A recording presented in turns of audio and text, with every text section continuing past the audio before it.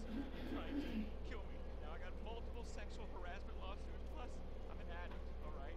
And I've relapsed. I can't stop jacking, dude. I jack in traffic. What's your attention? Huh? I mean, aside from movies. Dude, haven't you seen my show? It's not live, it's not funny. It's my genius. I got no fucking talent. Clearly ain't being humble, T. You proved your point. This is your daughter. You should be wanting to rip the fucking ponytail out the back of this guy's head. And you!